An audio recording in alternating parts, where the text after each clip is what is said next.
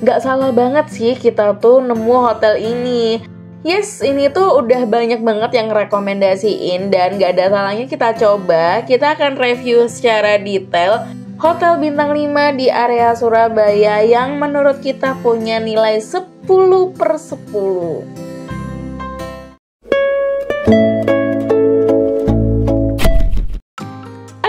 Assalamualaikum dulur onlineku Hai, apa kabar? Gimana kabar kalian? Semoga stay happy dan kalau misalkan kalian yang sekarang lagi nonton dalam keadaan setelah pulang bekerja Oke, kita akan ajakin kalian untuk virtual holiday Di mana kita sekarang sedang berada di kota Surabaya lur siapa di antara kalian yang arek-arek Surabaya nih dan siapa di antara kalian yang belum pernah ke Surabaya, kita akan kasih tahu nih. Di Surabaya itu adalah kota yang terkenal dengan street foodnya yang amat sangat banyak dan murah sekali lur. Selain itu juga di Surabaya itu banyak destinasi yang bisa dikunjungi seperti ke kota yang pendukung sekitar Surabaya, Malang, Batu, Gersik, Lamongan, dan lain-lain. Dan itu tuh nggak terlalu jauh kalau dari kota Surabaya ya. Dan kalau misalkan kalian tanya kita stay di mana, kita stay di Hotel Double Tree by Hilton. Udah tahu pasti kalian gimana sih standarnya Hilton. Langsung aja setelah kita parkir, kita langsung menuju ke area lobbynya lur. Dan ini dia nih area lobbynya cukup banyak sekali sofa-sofa dan kursi-kursi untuk tamu-tamu yang sambil menunggu check-in saat kita ke sini tuh memang dalam rangka Natal menuju tahun baru ya.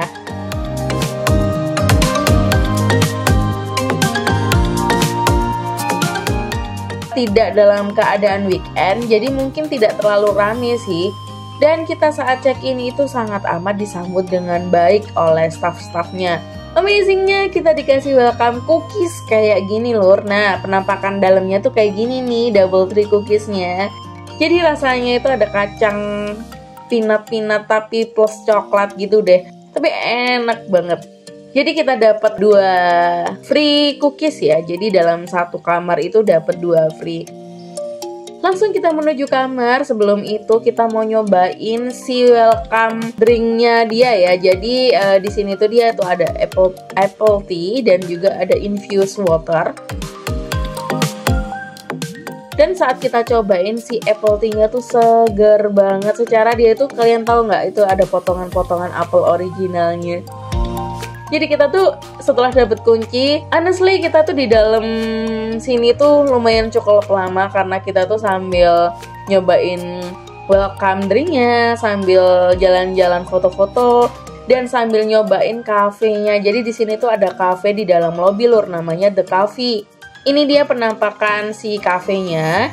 Jadi kalian bisa order um, minuman seperti kopi, teh, dan lain-lain. Ada juga cakes Di mana kalau misalkan kalian pengen kasih surprising keluarga, kalian bisa beli cakesnya di cafe yang ini ya. Dan saat kita cobain itu tuh enak banget sih. Oke, langsung aja kalian bisa lihat lobbynya begitu luas. Kita langsung menuju ke kamar kita, Lur. Nah ini kita menunggu lift dan saat kita masuk emang ya rasa-rasa mewahnya itu nggak bisa bohong dong. Jadi secara kita tuh uh, menginap di salah satu hotel di mana ini tuh harganya per malamnya sekitar 2 juta plus plus. Wow banget gak sih?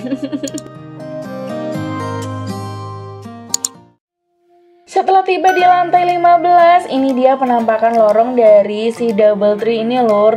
Kita dikasih lantai 15 karena konon katanya dari lantai yang agak-agak atas ini view-nya semakin bagus. Langsung aja nggak sabar kita tapping dan yeay, ini dia kamar kita lor. Kita memesan kamar di tipe standar double. Ini dia fasilitasnya dan kita dapat di harga 829.000 dari harga umumnya 2.400 ribuan. Wow, murah banget ya sih? Dan kita memesan tipe bed yang king bed kita dapat 4 pilos dan setelah kita intip-intip merek brand si bednya ini tuh bagus banget dan empuk. Ada alarm di ujung meja situ dan seperti biasa perintilan notes dan untuk kerjaan kalian juga lengkap. Di sini juga ada AC yang bisa kalian atur semaunya dan kerennya ini bisa nyala ya. Menurut kita, overall kamarnya ini cukup luas ya, Lur. Dan di sini juga ada sofa bed, kalian bisa tidur di situ sambil main-main sama anak-anak juga bisa. Jadi kalau misalkan kalian bawa anak-anak lumayan bisa tidur di situ juga. Lanjut, waktunya kita speed test. Wow, lumayan kenceng banget dan di sini juga channelnya banyak dan beragam. Di ujung sana juga ada meja kerja plus kursi dan itu tuh elegan ya. Saatnya kita ngintip pemandangan Surabaya dari lantai 15 double tree dan ini dia pemandangannya, Masya Allah. Kalau kalian ingin tahu kita berada di lokasi mana, kita tuh berada di area Tunjungan Plaza ya. Amazingnya saat kita diketok oleh room service dan ternyata kita tuh dapat free cake lagi dong. Terima kasih Double Tree. Dan rasa cake-nya tuh nggak enak banget. Lanjut seperti biasa kita dapat teh dan kopi, tapi ini nggak biasa. Kenapa? Karena selain dapat gula, kopi, ini tuh tehnya luar biasa. Jadi dia itu ada teh chamomile, lemongrass, black tea, yang umumnya itu pakai teh-teh yang umum ya, tapi dia tuh ada teh chamomile dong. Bikin apa? Salah satu manfaatnya bikin tidur kalian lebih puas. Seperti biasa five star udah pasti ada mini cooler ya, tapi di sini dia tidak ada free snack. Walaupun dengan harga yang kalian dapat di atas 2 juta, tapi dia tidak ada free snacknya. Dan kerennya di sini tuh ada gelas, gelasnya itu keren beserta sendok. Dan ini tuh ada kayak tempatnya si foamnya itu, jadi bener-bener nambah double tree ini semakin terlihat eksklusif. Buat kalian yang di sini dalam rangka bekerja, nggak perlu khawatir karena di sini ada setrikaan plus meja dan juga ada center yang kedip-kedip tadi ya. Ini lemarinya bener-bener elegan ada keranjang untuk laundry kalau kalian ingin laundry dan juga ada hanger yang seperti ini. Semuanya lumayan cukup lengkap. Plus ada safety box kalian bisa simpan berkas dan barang berharga kalian di sini. Oh iya, mau kasih tahu aja nih, slipernya ini bener-bener lembut banget dan ini tuh nggak biasa ada di hotel-hotel lain, lur. Lanjut kita ke kamar mandinya. Seperti biasa, kamar mandinya itu tidak terlalu luas menurut kita untuk kelas 5 star. Karena di tipe ini juga tidak ada uh, batap ya. Tapi di sini lumayan cantik. Lihat deh, ada aksen-aksen yang lumayan bikin kamar mandinya ini makin terlihat eksklusif. Plus, kita tuh terkagum-kagum dengan perintilan yang ada di Double Tree ini. Selain ada hair dryer yang udah disediakan di sini, di sini amenitisnya itu lumayan banyak luar. Dan tau nggak sih, amenitisnya itu kita cobain seperti hand body, sabun, shampoo, dan itu aroma-aromanya seperti aroma pewangi ruangannya si Double Tree ini bener-bener enak banget.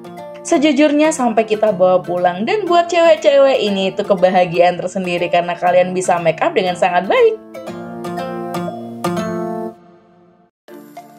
Oke lanjut kita turun ke lobby karena kita rencana ada planning untuk jalan-jalan ke area Tunjungan Plaza dan di sini pada malam harinya itu ada live show piano ya. Jadi kalau misalkan kalian ingin bernyanyi bersama atau ngedengerin piano yang lembut, kalian bisa turun ke lobby pada malam hari.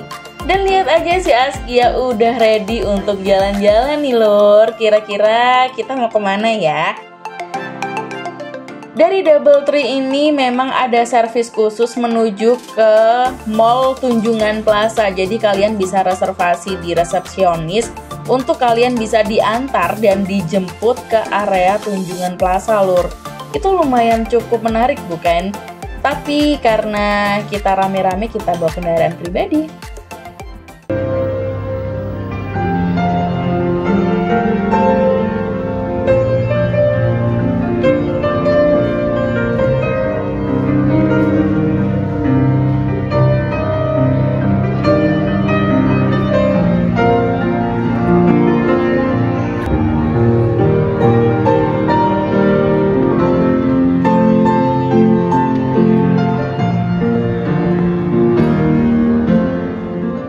Itu tadi penampilan piano pada malam hari bikin suasana makin romantis dan bikin si hotel ini benar-benar terlihat makin elegan.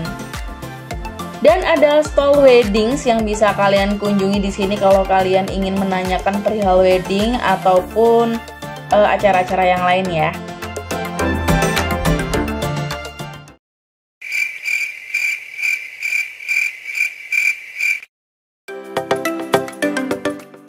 Pagi dari kota Surabaya. Hai arek-arek Surabaya Pagi-pagi. Pada ngapain nih kalian? Wah Surabaya lumayan panas ya. Tapi sejujurnya panasnya di Surabaya ini nggak terlalu seterik panasnya di Bekasi. Kenapa ya Lur? Kalian bisa kasih tahu kita nggak? Atau komen di bawah mungkin. Lanjut langsung aja sebelum kita jalan-jalan ke area hotel ini yang lain. Kita mau breakfast dulu Lur jadi di sini kalian bisa breakfast untuk breakfastnya sendiri itu banyak banget makanannya dan beragam. Tempatnya juga lumayan luas, jadi ada banyak-banyak spot area. Areanya itu terpisah, tapi itu banyak banget kursi dan sofa-sofanya lur. Langsung aja kalau kalian penasaran, buat sekelas double tree gimana sih breakfastnya? Menurut kita banyak banget dan ini lumayan enak tapi kalau misalkan kalian yang menanyakan kalau nggak menginap di sini bisa nggak sih nyobain breakfastnya aja, bisa kok. Kita sempat nanyain ke resepsionisnya kalau misalkan kita nggak bermalam di sini atau nggak stay, bisa nggak kita uh, breakfast atau lunch aja dan itu tuh dari harga 300 ribuan per orang ya lur. Makanannya macam-macam dari tradisional food, aneka bubur seperti ini dan kalian bisa pilih toppingnya macam-macam Plus ada dimsum olahan bakpao juga. Lalu di sini tuh yang kerennya ada angkringan dong. Khas Jawa itu angkringan dan kalian bisa pilih sate-satean mana yang kalian suka. Nanti sama si masnya itu akan dibakarin pakai bumbu rahasia mereka dan itu sudah free service ya. Lanjut di sini tuh ada nasi pecel. Nah, buat kalian yang nggak tahu pecel itu apa, jadi nasi pecel itu adalah salah satu makanan khas tradisional dari Jawa Timur yang kalau misalkan digambarin itu mirip-mirip kayak karedok gitu ya, tapi beda sih. Menurut kita sih nasi pecelnya lumayan enak. Kalau kalian ke Surabaya emang wajib banget buat nyobain namanya nasi pecel. Lanjut ke egg corner, di sini banyak banget beragam. Kalian bisa pesan telur-teluran yang dibalur dengan roti seperti tadi, omelet ataupun boil ataupun di boil ya, di scramble juga bisa. Dan si emasnya ini sangat amat tanggap. Minuman dinginnya juga sangat beragam. Di sini mulai dari infused water, orange juice, apple juice semuanya ada. Lihat saja si Askia begitu happy dan menikmati sarapan pagi di Double Tree lur. Nah ini dia kira-kiranya makanan pagi yang kita makan ya.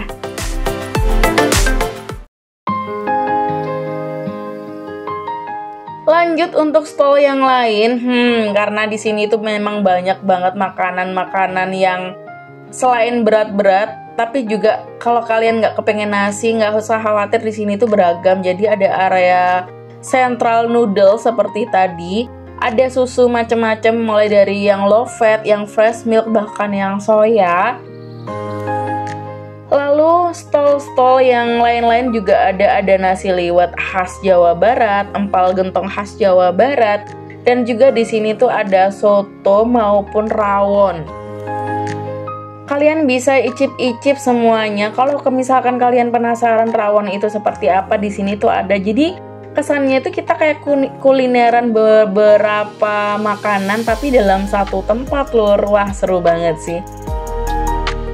Menurut kita kalian itu nggak rugi kalau misalkan nginep di sini. Secara breakfastnya itu benar-benar mengagumkan. Dan ini all you can eat kalian bisa makan sepuasnya. Ada juga wedang-wedangan seperti ini dan aneka jamu karena Jawa Timur itu terkenal banget dengan jamu-jamuannya yang enak dan ini tuh original semua. Kita emang hampir semua nyobain tapi nggak semua ya hampir dan kita icipin dikit-dikit. bahkan cake-nya itu macam-macam mulai dari waffle, mulai dari cake, mulai dari buah-buahan dan itu tuh dari tradisional Indonesia, western, semuanya ada di sini.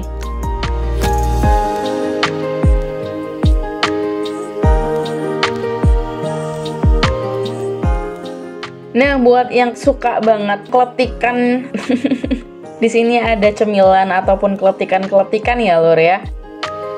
Dan macam-macam sedisnya. Kalau kita hitung di sini tuh sekitar lebih dari 100 menu. Wow, bayangin banget. Lebih dari 100 menu dong.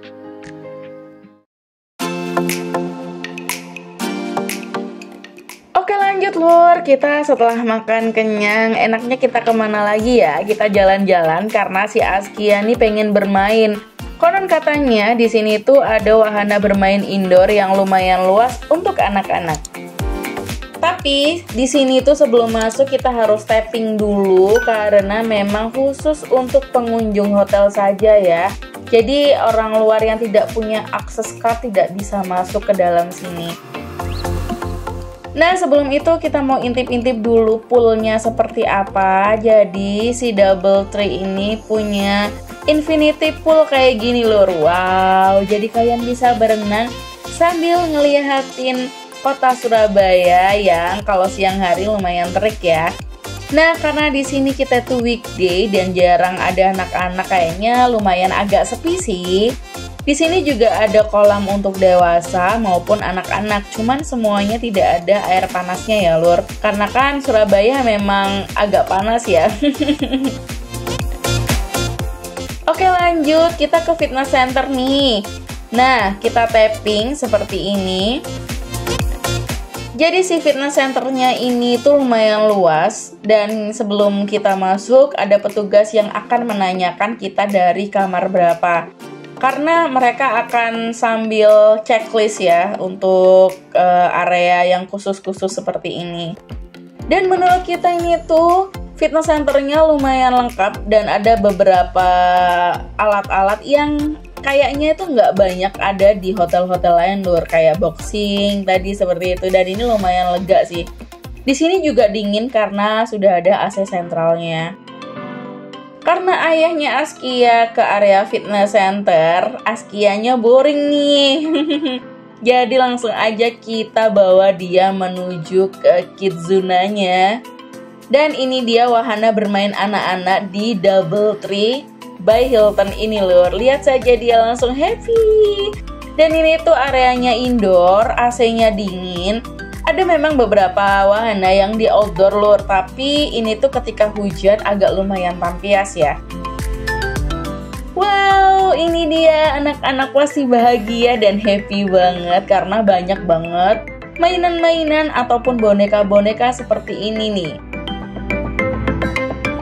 Kalian juga bisa nungguin anak-anak bermain sambil nonton TV, cuman ini memang kita waktu datang ke sini agak kepagian jadi belum pada dinyalain. Askia happy sekali. Oh ya, kalau misalkan kalian tanya di sini fasilitasnya apa saja. Jadi di dalam si wahana bermainnya Hilton ini ada toilet juga dan juga ada area untuk milking. Kalau misalkan kalian uh, ingin menyusui atau ganti pampers untuk anak-anak di sini ada. Jadi kalian nggak perlu keluar untuk ke kamar dulu ya. Kalian bisa bawa perlengkapan baby ataupun pampersnya itu ke sini. Jadi kalau misalkan mau ganti tinggal langsung ke kamar mandi yang ada di dalam area senior dan ini si Askia kita minta tolong untuk clean up dan bener-bener happy untuk langsung clean up dong dia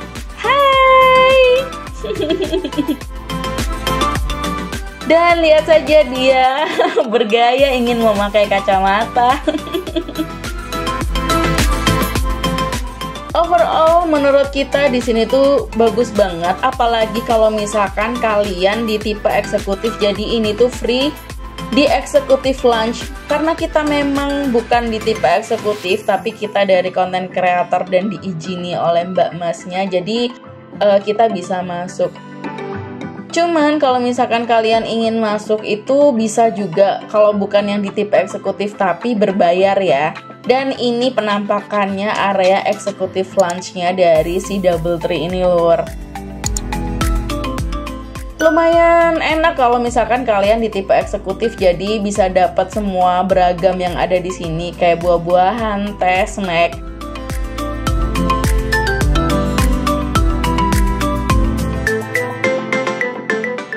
Nah, kira-kira kalian kalau mau ke sini mau pesan yang di tipe apa nih? Kalau misalkan kalian ingin mencoba suasananya, menurut kita di tipe yang ini udah amat sangat cukup kok. So far ini adalah hotel dengan nilai 10 per 10 lur, wow. Dan terima kasih banget untuk Surabaya kesempatannya ke sini.